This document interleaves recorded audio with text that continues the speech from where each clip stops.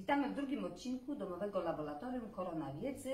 Dzisiaj przedstawimy, y, jak zrobić, pokażemy właściwie, jak zrobić wiatraczek z balonów. Co nam będzie do tego potrzebne, do tego doświadczenia? Najlepiej 6 balonów, może być więcej, ale zacznijmy od 6 balonów. Suszarka, ale z y, możliwością y, nawiewu zimnego, pamiętajcie o tym.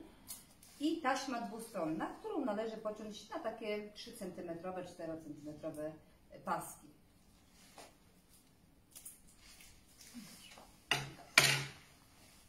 Przyklejamy. i przyklejamy do balonów. Ale proszę zobaczyć, że do tej części tutaj, tak jak jest ogonek, związany jest balon, to po przeciwnej stronie.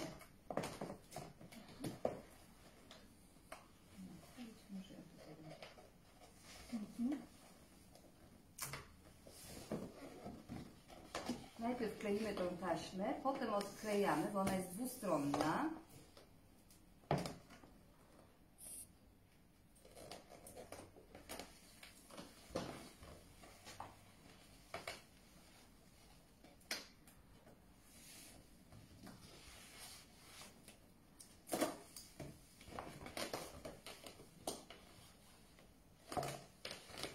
I przyklejamy te balony, zobaczcie, teraz inną stroną, nie tak jak były taśmy, tylko przyklejamy ogonkiem do taśmy.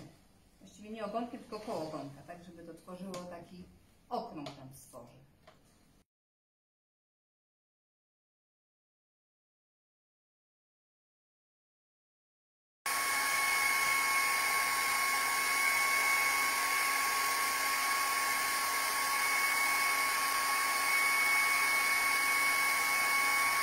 Zobaczcie, tak sklejone balony.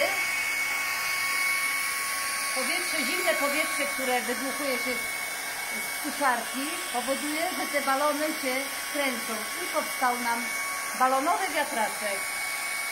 Suszarkę trzymamy w jednym miejscu.